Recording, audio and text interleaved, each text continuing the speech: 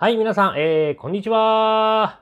皆さん、皆さん、聞いてください。今回もですね、ピンク着ております。えーね、昨日のね、えー、動画、昨日のね、夕方に上げた動画でもお話しさせてもらったんですけども、えー、実は昨日の、えー、3本ね、皇室関係の動画を上げさせてもらったんですけども、まあ、皇后雅子様の話題、そしてですね、えー、まあ、天皇ご一家の話題ということで、今言いましたようにね、1日の3本の動画の中で全て皇室関係、そして全てピンクのシャツを着たというのは、私がね、YouTube を始めてから、なんと初めてだったんですね。新記録だったんですけども、本日2月29日の木曜日のこの朝ですね、この動画を撮ってるんですけど、またしてもピンクを着させてもらってますということで、記録が続いてますということで、果たしてこのピンクを着るね、え動画何本続きますでしょうかということで、記録に挑戦しております。まあどうでもいいんですけどね、すいません。しょっぱなからどうでもいいような話をさせてもらいましたけども、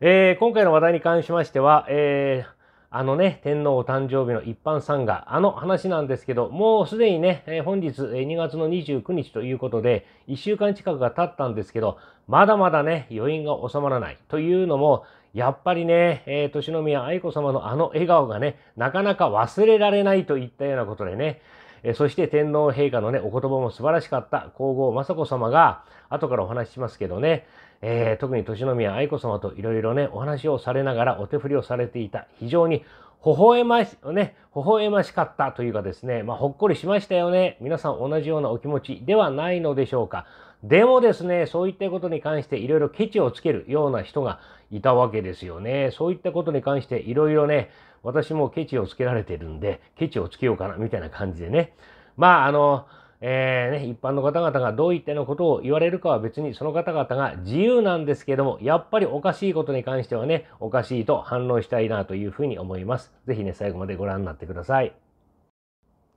はい、ということで、えー、今ね、えー、まあ、お題目でちょっと書いておきましたけども、天皇ご一家はね、談笑されておりました。なんですけども、エーヌミアご一家は無言でお手振りをしてました。このことに関してですね、これね、えー、2日、2、3日ぐらい前のね、ちょっと記事で上がっていたので、まあその記事を引用させてもらって、またこの記事に関してですね、ああでもない、こうでもないと言っておられる方がおられるわけですよ。で、その方が言っておられることに関して、何言ってるんですか？みたいなね、今回は反論です。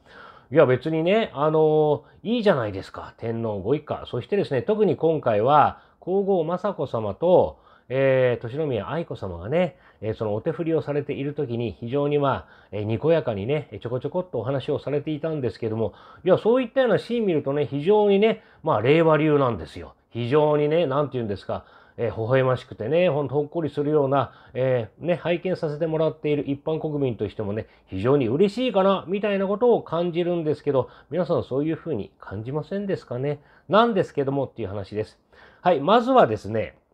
えー、最初にちょっとお伝えしますけども、まあ、雨天の中ね、まあ残念だったですよね。えー、まあ、このお天気だけはね、え誰も左右することができませんので、えー、結構な雨がね、冷たい雨が降っていたといったような一般参賀だったわけですけども、約1万5900人が集まった。いやーね、今回事前の抽選がなかったということで、皆さんもね、絶対に拝見したいということで、まあ、皇室ファンの方々はね、お出ましに、ね、なったというかね、実際に参列されたということなんですけども、1万6千人近くですよ。すごいよね。まあ、そういった、そういったその一般参加であったわけです。で、そういった中でですね、この記事の中にあったんですけど、まあ、今言ったように、あいにくのね、冷たい雨が降っていたという中なんですけど、その中で、えー、その実際に訪れた方がね、えー、この取材に応じてた、応じていたといったことなんですけどね。で、そのことに関してはそのまま読まさせてもらいます。えー、お出まし直前になると声がかかったわけでもないのに皆さん続々と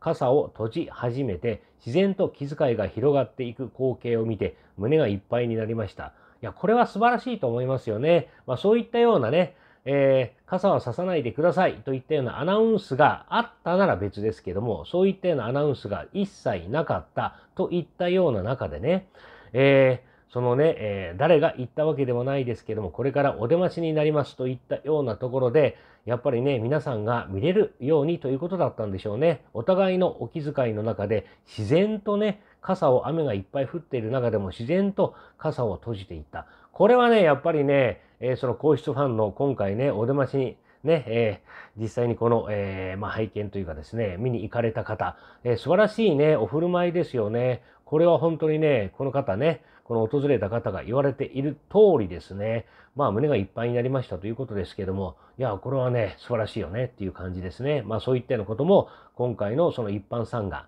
の中で見られたっていうことですけども、それに関してね、まあ当然事前には用意をされていたんですけども、天皇陛下をね、えー、冷たい雨が降る、えー、厳しい寒さの中、誕生日にこのように来ていただき、皆さんが祝っていただくことを誠にありがたく思いますというふうにきちっと言われていたんですよね。で、そういったような言葉がね、あるかどうかっていうことは全くね、えー、想像していなかったんでしょうけども、自然に傘を皆さんが閉じられていた。まあ、それによってね、え、その後ろの方々、まあ、前の方はもちろんなんですけど、後ろの方々も、え、そのね、天皇ご一家、そして、まあ、犬宮家のね、方々を、えまあ、拝見させてもらうことができたといったようなことですよね。はい、そういったようなことがあったわけです。で、えー、この記事の中でね、今回ちょっと注目させてもらうのは、後からちょっとね、いろいろお見せもしますけども、天皇ご一家のお振る舞いというかね、そういったことと、あと、永宮家の違いが明らかだったっていうことで、記事の中で書いてるんですね。そのことに関して、まあ、それも読まさせてもらいますけども、天皇ご一家に関しては、特にね、皇后雅子様と年宮愛子様はお手振りされながらもお互いに顔を見合わせられ、えー、微笑みながらお言葉を交わされるお姿が何度も見受けられましたと。そして天皇陛下からもね、え、話を振られている場面もありましたね、といった天皇ご一家のね、ご様子だったわけですけども、片や、えー、エーネミアご夫妻ということで、そして佳子さまということなんですけども、積極的にお話しされることはなく、アイコンタクトもほとんどなかったように思います。それぞれ体を別の方向に向けられて、ほぼ無言でお手振りをされていましたねって言ったことが、記事の中でね、えー、この女性自身なんですけど、記者の方によって書かれていたわけなんですよ。まあ確かにね、あの、この天皇お誕生日の一般参賀に関してはね、まあいろんなね、それこそ YouTube なんかでも動画が上がっておりますので、もう皆さんね、すでに拝見されておいと思いますけども、確かにその通りだよね。私も前ね、えー、このね、一般参賀の翌日でしたかね、動画を上げた時に、なんかやたらとね、エーヌミヤご夫妻とこの佳子様の距離がやたらあるだとかね、なんか目を合わせていないだとか、言ったようなことは、やっぱり仲悪いんじゃねえのみたいなことの動画もね、お話をさせてもらいましたけどね、まあそういった動画まだご覧になってない方は、後でぜひね、ご覧になっていただきたいんですけども、まあそういったようなことがあったわけですよ。で、えー、まずね、記事の中身としてはこんな感じだったんですね。はい。で、ちょっと次のページ。はい。でですね、これはね、えー、実際のえー、ヤフーニュースにも上がってたんですけども、このヤフコメですね。で、やっぱりヤフコメの内容に関しても、まあ、うん、ある程度予想通りかなといったようなヤフコメが並んでおります。ちょっとね、読まさせてもらいますが、天皇ご一家はいつご覧になっても仲睦まじく、見ているこちらもね、微笑ましく思い、幸せな気持ちになる。まさしくその通り。え宮家の方は、笑顔でも作られたようで、引きつっているように映ってしまう。このような場では天皇ご一家と比較されてしまうので、一緒に並ばれない方が良いと思います。といったような、えー、コメントだとかね。もしくは天皇陛下が、えー、雅子様と愛子様を見る眼差しのね、お優しさにいつも、えー、温かな、えー、気持ちになります。といったようなことがね、言われているわけですよ。まあちょっとね、二つばかし、えー、ヤフーコメント紹介させてもらいましたけど、やっぱりこういったようなコメントがずらーっと並んでいるんですよね。やっぱり一番多かったのは、エルミヤ家がね、なんでいるんでしょうかみたいなコメントが多かったわけですよね。まあ、こういったようなコメント、そしてですね、記事の内容がね、ちょっと皮肉っぽい ANMA に対しては、アイコンタクトも交わさずにね、えほぼ、ほぼ無言でお手振りをされてましたといったような、ちょっと皮肉っぽい、えー、まあ、記事が上がっていたわけなんですけども。はい。でですね、それに対してね、もう皆さんもこの方よくご存知ですよ。ケケウチさんということでね、はい、ケケウチさんがですね、これ翌日ぐらいに、えー、X 上で投稿しておりましたっていう話なんですけどね。ね、お手振りの時無言であるのは普通のことではっていうふうにね、まあ女性自身の記事に対して反論してるわけですよ。そしてね、まるで AN 宮家がね、常識がないような書き方をしている。これ女性自身おかしいんじゃないの？そしてですね、昭和、平成の時代に天皇皇后両陛下がおしゃべりしながらお手振りをされた、されていたでしょうか？令和流といえばそれまでですか？みたいなことを言っているんですけども、いやね、こういったようなことを言うのであればね、ぜひね、後からちょっとね、写真と、もしくはね、動画等も紹介させてもらいますけども、えぜひね、えー、これもしかしたらケケウシさんこのこと忘れちゃってるんですかね。こういったようなことで、それこそですね、お手振りをされながら天皇ご一家が、まあ、お話をされていたことをね、逆にこのね、えー、指摘をしてね、こんなことおかしいっていうふうに、竹内さんおっしゃられてますよ。まあ、誰がね、どういうようなことを X 上でポストしようが、投稿されようが、別にそれはね、ご自身のご自由ですので、それに関して別に私はああだこうだ言う気はありませんけども、でもね、もしこういったようなことをね、言って、その天皇ご一家が談笑されるっていうことに関してね、おかしいというのであればですね、このこともね、絶対に、えー、ね、言わなきゃダメだよっていうようなこともね、私は感じたわけです。で、次のページ。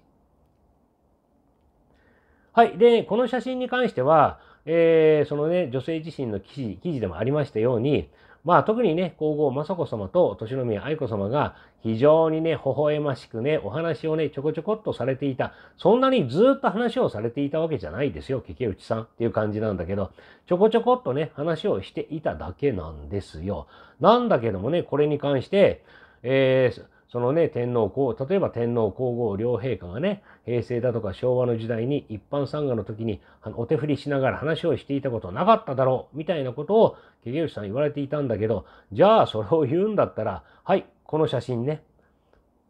これの、このこともぜひね、言わなきゃダメでしょうっていう感じなんだけどね。これね、えー、今回3回ね、お出ましになりましたよね。その中で1回目の、えー、もう最後の方なんですけども、永宮殿下がですね、この矢印の通り、えー、天皇陛下に対してね、なんかちょこちょこっとね、この、まあね、写真の通りですよ。お手振りされながら、天皇陛下とお話をね、されているんですよ。で、これ声掛けをされているのも、えー、永宮殿下なわけですよね。永宮殿下からお声掛けをされて、天皇陛下がそれに対して、まあ、相打ちを打つかの、打つかのごとくね、お話をされていたということで、さっき、ケフさんね、今言いましたように、ね、あの、その一般参賀においてはね、お手振りをしながらね、えー、実際にお話をするようなことはおかしいっていうようなことを、えー、ケゲウシさん言われていたんだよね。じゃあ、このね、お手振りしながら、今ご覧になっていただいているのは、誰ですかっていう話だよね。このこともね、ケゲウシさん言わなきゃおかしいでしょ。そうじゃなきゃね、公平性に欠けますよっていうことをね、私はね、お話をさせてもらいます。おかしいよねっていう感じですよね。といったようなことです。一旦変えますね。はい。といったことで、えー、冒頭でお話ししましたように、なんとなんとですね、4本、昨日からですね、4本連続で、えー、ピンクのシャツを着させてもらってます。えー、今回のね、話に関しても、え、まあ、天皇陛下のね、64歳のお誕生日の一般参賀ということなので、当然のことながらピンクを着させてもらいましたけども、いやね、私、え、ちょっとね、先ほど言わさせてもらいました通りですね、いいじゃない。ね、お手振りしながらね、えー、ね、それは引きつった顔でお手ね、なんか話したらちょっとね、え、何話してるんだろうな、っていうことで心配しちゃいますけども、ね、微笑ましく、ね、微笑みを交わしながら、えこうやってね、お手振りをされているわけでしょ？別にそれに関して、えー、まあ拝見するね、国民サイドとしても、ああ、やっぱりね、ね、仲がいいんだなというようなことをね、思わせていただけるような場面だから全然いいと思うんですけどね。まあそれに関して文句をつけているような人がいたって言ったような話です。おかしいわね。矛盾してるよね。で、最後の写真でもお示ししました通り、エネミア殿下、こうやってお手振りしなしながらね、隣にいる天皇陛下に向かってなんか話してましたよ。エーヌミア殿下からお話しされてましたからね。といったような話なわけです。皆さんどのように思われますかね？今回もありがとうございました。あ、あとね、今回なんですけど、ちょっとね、本日またね、仕事がちょっと、私自身のね、仕事が溜まってきてるもんで、え本日はね、もしかしたらこれ一本になるかもしれません。また明日以降はね、いろいろ動画を撮っていきたいなと思ってますけど、そのことに関してはね、ぜひね、えー、ご了解いただければなと思います。一本ちょっともう、どうしてもね、撮りたいような、えー、動画もあるので、あげるかもしれませんけども、一応ね、前もってお話をさせていただきました。ありがとうございました。バイバイ。